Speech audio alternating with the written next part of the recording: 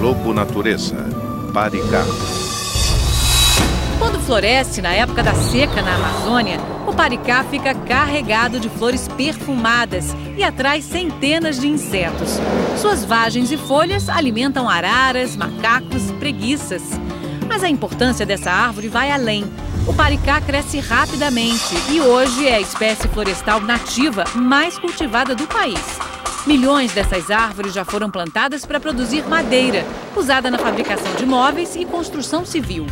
O que é considerado bom para a economia e para a própria natureza, já que esse plantio substitui a exploração predatória da terra e ajuda a recuperar as pastagens degradadas. Globo Natureza. Oferecimento Natura Ecos. Fragrâncias que nascem nas florestas brasileiras. E Eco Esporte. Volte a ser o aventureiro que você sempre foi.